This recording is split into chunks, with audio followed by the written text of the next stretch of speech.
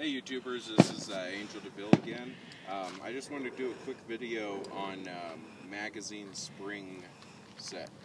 Um, this particular magazine I bought with a uh, with a mag pouch dated 1918, and this magazine looks like it's been uh, been rode hard, put away wet, a lot of surface rust. Um, I'm not even sure manufacturer date on this but it was in that magazine pouch.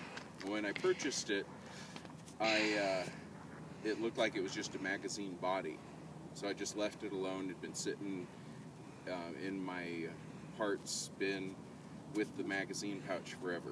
So I finally went to go clean up that magazine pouch, and I pulled this out, and I discovered there was a big dent in the side and when I pounded out the dent, lo and behold, there was a spring and follower inside this.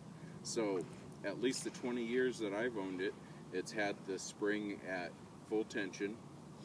Um, I banged the dents out as, as neatly as I could. I left the exact same spring and the exact same follower in it, um, and it functions just fine. So at least 20 years, if not who knows how many, uh, when this was first put in that magazine pouch with the dent in it. Uh, it's been sitting like that, full spring tension. So at least 20 years of full spring tension.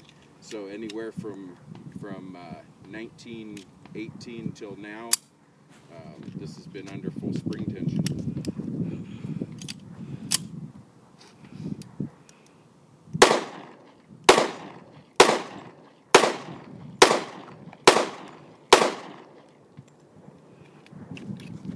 All seven rounds fired flawlessly. This isn't the first time I fired this magazine.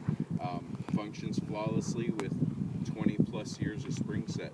Um, empty magazines do you no good, just like an unloaded gun does. Uh, I tend to leave all my magazines loaded.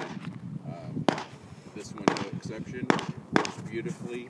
Um, fires just great out of my officer frame um, Commander Slide uh, 1911. So that's all I have to say on spring tension.